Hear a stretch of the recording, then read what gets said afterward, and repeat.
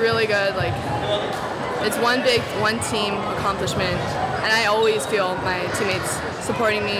I know they have my back, and it's just like it's not just an individual thing. It's like for the whole school, you know, because it's been a long time, and it's really exciting. As seniors, it's been really emotional actually, because we've been close since we were really little. So we're always we always hang out, even on the, even other girls, not just the seniors, just the entire team. We hang out. We get we're super close. We share secrets. We know everything about each other. So that helps with the trust and having each other's back.